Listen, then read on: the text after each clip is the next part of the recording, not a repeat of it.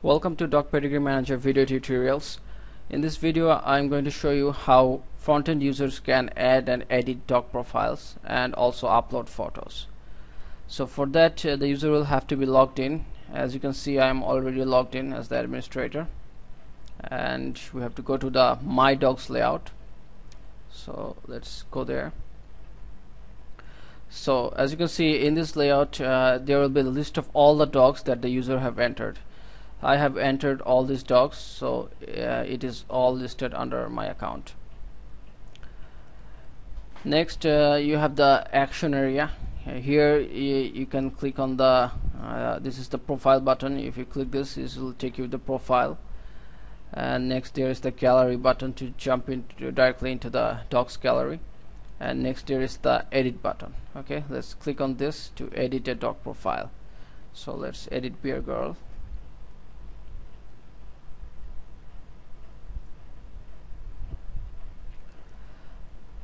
so this is the page for editing dogs this is the edit dog layout. As you can see there is a form uh, with all the dogs information uh, dog name date of birth registration number father mother uh, published order and the dog profile information everything. And uh, at the bottom as you can see there is a submit button. If you click this button this will update all the information. Okay? So let's click it, edit again the father and the mother fields were a select box before. Well, we have changed that uh, because uh, some people have a lot of dogs in their uh, database like uh, 40,000 or 50,000 dogs. So a select box will be very inconvenient here okay? That will be a very very long list and it will be very difficult to select uh, the particular dog. So we have come up with this uh, new feature okay? This new selection box. Let's click on it and a dialog will appear and inside you will be able to see all the male dogs for dog father. And uh, this is paginated okay? You can select the number of dogs you want to see per page and you can also search a dog uh, using the alphabets.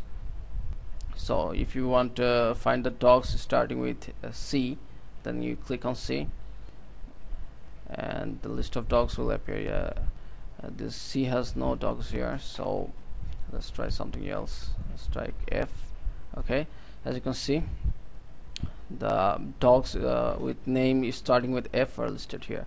And you just uh, need to click on the dog name and it will be set as the dog father. As simple as that. Okay next there is the upload photos tab and here you can uh, see the dog profile you can update the dog uh, profile photo and you can also be able to add new photos to the gallery okay? You have to set the title order published and choose the photo and when you are done just click the submit button here and it will automatically upload the photos. Okay. So that's it about editing dogs and uh, similarly you can go to the add dog layout okay to add a new dog profile. And it is uh, exactly same as the edit dog profile form as you can see. The dog name select the dog father select the mother. And and all the other information. And when you are done uh, just click the submit button. And the dog profile will be saved. Then you can go to the upload photos and select the profile photo. And if you have uh, gallery pictures. Uh, you can upload them to the gallery and click the submit button again and it will upload all the photos. So uh, this is very simple okay? And let me show you how you can link to these pages from the admin menu okay? Let's go to the admin area.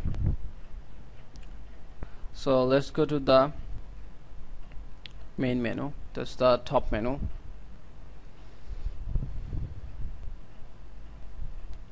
this is the top menu. And I have uh, added the my dogs and add dog layout under my account. So here they are. As you can see you cannot directly uh, link to an edit dog profile. You have to link to the my dogs profile okay? So it's very simple. To select uh, link to the my dogs. You can uh, directly do it from the menu. Uh, for let me show you. Let's change the menu type. And you'll see here you will see the dog pedigree management tree. And here is my dog. And here is my dogs under my dogs. Yeah, this is the layout you want to link to. So that's pretty much all about uh, adding and editing dog profiles uh, in the front end and uh, these options uh, these uh, menu items uh, does not have any parameter. So you just link to the layout and that's all.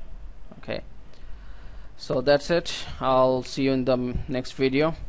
Thank you for watching